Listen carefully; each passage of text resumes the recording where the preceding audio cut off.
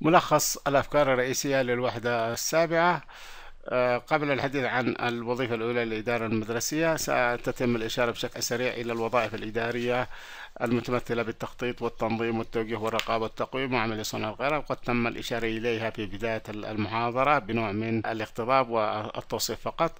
تمت الإشارة برضه إلى وظيفة التخطيط للعمل المدرسي بالإشارة إلى مفهومه والاستشهاد بآيات من القرآن الكريم وأحاديث نبوية شريفة لتعزيز وظيفة التخطيط. كما تمت الإشارة إلى ست خصائص عامة للتخطيط. تمت الإشارة إلى أنواع التخطيط بالإشارة إلى أنواع التخطيط بحسب مجال التخطيط وأنواع بحسب مدى التخطيط وأنواع بحسب الهدف من التخطيط وأنواع بحسب ميدان التخطيط وأنواع بحسب مستوى التخطيط. كما تمت الإشارة إلى عناصر التخطيط بالإشارة إلى أربع عناصر أساسية تتمثل في دراسة الظروف والأوضاع الحاضرة ودراسة المستقبل وتحديد الأهداف والترتيبات والإجراءات اللازمة لتحقيق أهداف الخطة. أشرنا إلى المبادئ الأساسية الأساسي للتخطيط بالإشارة إلى تسعة مبادئ.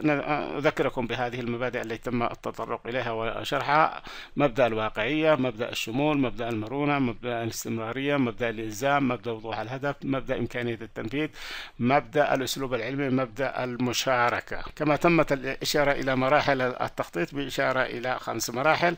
المرحلة الأولى هي مرحلة التحضير والإعداد إلى المرحلة التنفيذية والمرحلة الثانية هي مرحلة تحديد أهداف الخطة والمرحلة الثالثة مرحلة وضع الخطة والمرحلة الرابعة هي مرحلة تنفيذ الخطة والمرحلة الخامسة لها علاقة بمرحلة تقويم الخطة.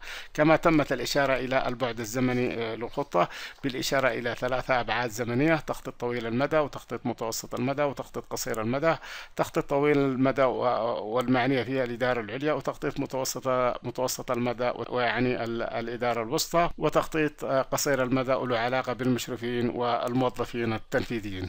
كما تمت الإشارة إلى الفرق بين التخطيط والبرمجة والإشارة إلى التخطيط الاستراتيجي والتعرف على خصائصه.